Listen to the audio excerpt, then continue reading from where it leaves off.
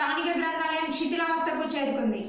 ఈ గ్రంథాలయాన్ని కట్టి సంవత్సరం కూడా పూర్తి కాకముందే బండలు కుంగిపోయి పుస్తకాలకు చెదలు పట్టాయి. ఈ గ్రంథాలయంలో కనీసం కరెంటు సౌకర్యం కూడా లేదు.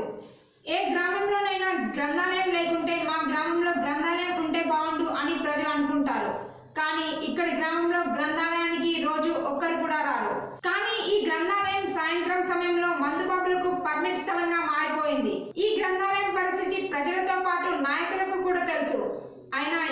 పట్టించుకోరు గ్రామంలోని పలువురు గ్రంథాలయాన్ని చదువుకోవడానికి వీలు పడేలా మార్చాలని కోరుతున్నారు. గ్రంథాలయం ఈ శిథిలావస్థ స్థితిలో అయిపోయింది. మొత్తం దీన్ని పట్టించుకునే ఏ నాయకుడు లేడు ఏ లీడర్ లేడు. తెల్లారులైతే మేము వచ్చి బుక్కులు చదువుదామని అయితే పాములు ఎలుకలు వీటి బాధతోనే సగం మంది మరిపోతున్నాం. రాత్రి వేళల ఇదేనేమో మందు బాబులతోటి బాధ ఉన్నది పొద్దున చూస్తే ఎలుకలు పాములతోటి ఉన్నది. ఆ ఏ ఒక్క నాదుడు వస్తలేడు ఏ లీడర్ పట్టించుకుంటలేడు. ఎవరో హరీష్ రావు వచ్చిందంటారు కేసీఆర్ వచ్చిండంటారు కానీ దీని మీద ఏది అది చూపు లేదు ఏది లేదు.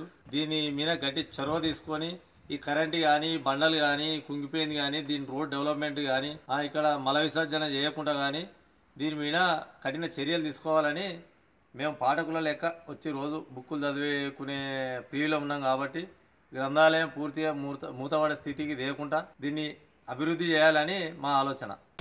Biryani zone the family restaurant నవెట్ ECL cross roads our specialities biryani kebabs Mughlai Indian Chinese and tandoori మా వద్ద dining home delivery take away outdoor catering సదుపాయం కలదు మా అడ్రస్ సూర్య ఆర్థోపెటిక్ హాస్పిటల్ ప్రక్కన ఈసీఎల్ క్రాస్ రోడ్స్ మరియు చక్రపురం క్రాస్ రోడ్స్ కుషాయిగూడ